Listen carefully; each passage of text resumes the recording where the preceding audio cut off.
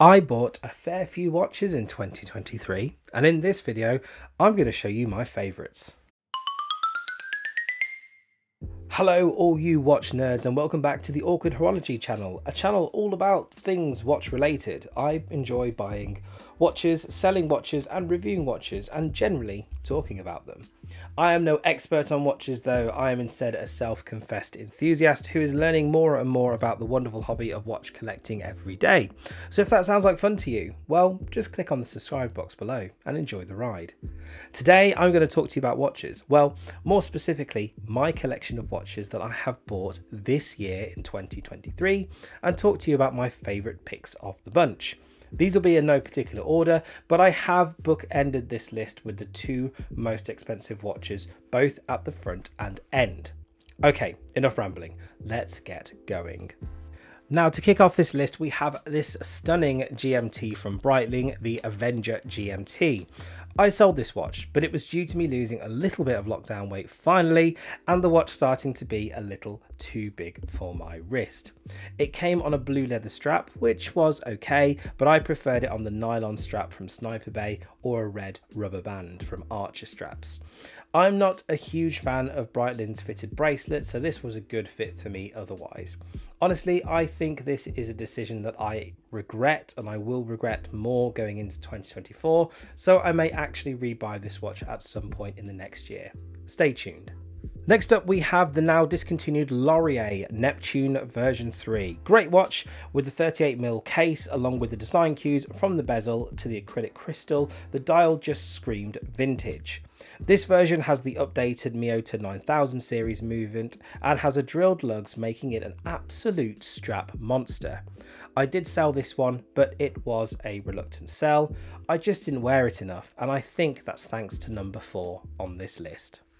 But sticking to number three, I, I bought this one watch for one sole purpose to mod, and it was the Solar Multiband 6 G-Shock MW5610, and it's probably the most important mess around watch anyone could have in their collection. Now, I have the idea of getting a full metal jacket G-Shock, and I just don't want to. And it's because of the easily accessible mod kits online. And I don't really feel that paying £300 for a bit of metal and the Bluetooth, which admittedly I wouldn't really use, is worth it. This watch has been modded. It is a mainstay in my collection and I absolutely love it. Why did you sell your Lorier again, Chris? Well, it's because of the watch at number four on this list, and it is all I needed from an affordable retro diver. Enter the Walbrook has been amongst my standout purchases of 2023. For a little over £250, you get a beautiful looking tool watch from a brand name with a history and a design that is inspired by their skin divers of days gone by. Now, if you thought that Glashütte Original, who had this design was the only ones, think again. It was a generic design of skin divers from the 60s and 70s. Love this watch. Yes, it's an older Miyota movement, but it has sapphire crystal, a free strap came with it, and Walbrook has a patented protection case, which in itself is great to see. And I love the gorgeous forest military green that this one comes in. Of course, this one is still in my collection. This VK64 powered chronograph from British microbrand Forzo was a great pickup for me this year too. I bought this from Watch Gecko on their sales and I have to say this watch is gorgeous and that's thanks to the cream dial, green accents and the orange second hand.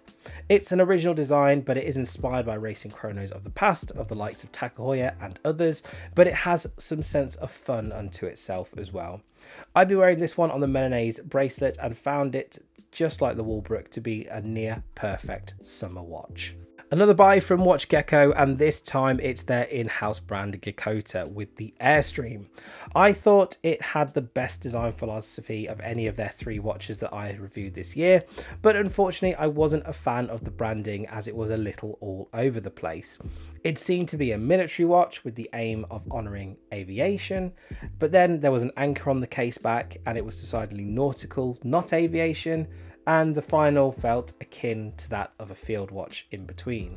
So it was a little bit muddled, the message. Great looking watch, little muddled. Regardless, I did think it was very well made, but it just couldn't find a permanent space in my collection long term. This was a rebuy for me. Not sure why I even bothered selling it in the first place, but this is where I think Timex are at their best. This is the Timex Expedition Chrono, focusing on the sub 100 pound watches, and this chronograph is a pretty good one for the price. 100 meters of water resistance, jump hour quartz movement, great color scheme, and all put together in a PVD style black dial.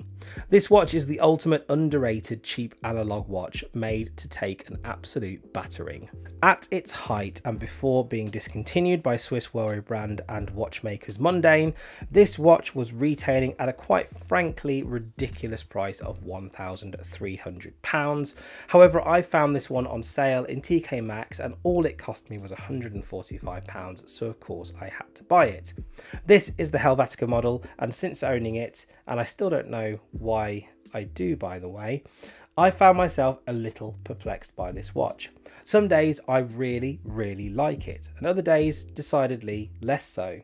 I'm not sure, but I think it'll stay in a watch box for a bit whilst I decide what to do with it, as I only really bought it because of the movement. It's either a manual wound Sellita or ETA, and at that price, either one is pretty awesome.